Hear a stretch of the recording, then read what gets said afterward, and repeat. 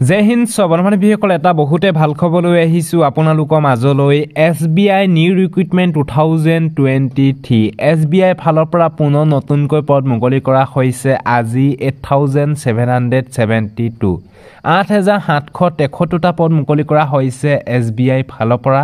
এই পদবিলাকত এপ্লাই কৰিবলৈ হ'লে আপোনালোকৰ বয়সৰ সময়সীমা কিমানৰ পৰা কিমান হ'ব লাগিব? এডুকেশ্যন কোৱালিফিকেশ্যন কিমান বিচাৰিছে?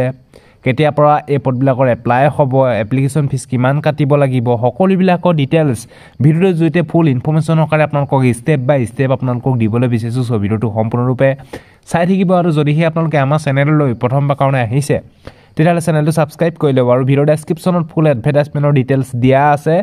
এছ বি আই ফালৰ পৰা যিখন নটিফিকেশ্যন আহিছে সেই নটিফিকেশ্যনখন ভিডিঅ' ডেছক্ৰিপশ্যনত দিয়া আছে গৈ পিনে আপোনালোকে এবাৰ চেক আউট কৰি ল'ব পাৰিব। এতিয়া মই আপোনালোকক ডিটেইলছবিলাক ষ্টেপ বাই ষ্টেপ আপোনালোকক দিবলৈ বিচাৰিছোঁ।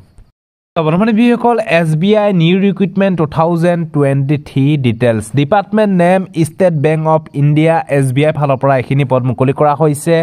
এপ্লাই প্ৰচেছ অনলাইন মাধ্যমত আপোনালোকে এই পদবিলাকত এপ্লাই কৰিব লাগিব। এপ্লাই লাষ্ট ডেট ডিচেম্বৰ মাহৰ সাত তাৰিখলৈকে আপোনালোকে এপ্লাই কৰিব পাৰিব। টোটেল পদ মুকলি কৰা হৈছে eight thousand seven hundred seventy two seventy three আঠ হেজাৰ সাতশ তেসত্তৰটা পদ মুকলি কৰা হৈছে এছ বি আই ফালৰ পৰা। পোষ্ট নেম ক্লাৰ্কৰ কাৰণে এইখিনি পদ মুকলি কৰা হৈছে। চেলাৰী ঊনত্ৰিছ হেজাৰ এপ্ৰক্স দিয়া হ'ব। জব লোকেশ্যন অল ইণ্ডিয়া কেণ্ডিডেটে এই পদবিলাকত এপ্লাই কৰিব পাৰিব। যদি আমাৰ টেলিগ্ৰামত তেতিয়ালৈকে যদি জইন হোৱা নাই জইনত ক্লিক কৰি আমাৰ টেলিগ্ৰাম গ্ৰুপত আপোনালোকে জইন হৈ লওক। Important date S B I clerk two thousand twenty three release notification dash date release notification আজি মুকলি কৰা হৈছে ষোল্ল নৱেম্বৰ তাৰিখে। S B I clerk apply start হ'ব সোতৰ নৱেম্বৰৰ পৰা। কাইলৈৰ পৰা এই পদবিলাকৰ এপ্লাই ষ্টাৰ্ট হ'ব। এপ্লাই লাষ্ট ডেট ডিচেম্বৰ সাত তাৰিখলৈকে এপ্লাই কৰিব পাৰিব। ইয়াতে এক্সামৰ ডিটেইলছ দিয়া আছে। সাত জানুৱাৰী মাহতে আপোনালোকৰ ইয়াৰ এক্সাম ষ্টাৰ্ট হ'ব। এইখিনি ইম্পৰ্টেণ্ট ডেটৰ বিষয়ে আপোনালোকে গম পালে। তাৰপৰা নেক্সট হৈছে এপ্লিকেশ্যন ফিজ যোনসকল candidate general O' B C E W S হয় তেওঁলোকে ছেভেন ফিফটি ৰুপিজ পে'মেণ্ট কাটিব লাগিব আৰু যোনসকল candidate S C S T P W D E S M বা D E S M candidate হয় তেওঁলোকে কোনো ধৰণৰ এপ্লিকেশ্যন ফিজ কাটিব নালাগে। নীল পে'মেণ্ট মুড অনলাইন মাধ্যমত আপোনালোকে পে'মেণ্ট কাটিব লাগিব। এইখিনি বিষয়ে আপোনালোকে গম পালে। তাৰপৰা নেক্সট হৈছে S B I clerk age limited এই পদবিলাকত এপ্লাই কৰিবলৈ হ'লে আপোনালোকৰ মিনিমাম এইজ বিছ বছৰ হ'ব লাগিব মেক্সিমাম আঠাইছ বছৰলৈকে আপোনালোকৰ এপ্লাই কৰা সময়সীমা দিয়া হৈছে। আৰু লগতে আপোনালোকৰ ইয়াতে এইজ ইলেকশ্যনো পাব। এছ চি এছ টিসকলৰ কাৰণে ফাইভ বছৰ এইজ ইলেকশ্যন দিয়া হৈছে। O' B C M O' B চিসকলৰ কাৰণে তিনি বছৰ এইজ ইলেকশ্যন দিয়া হৈছে। আৰু পি ডাব্লিউ বি ডিবিলাকৰ কাৰণেও এইজ ইলেকশ্যন দিয়া হৈছে। এইখিনি বয়সৰ সময়সীমাৰ বিষয়ে আপোনালোকে গম পালে।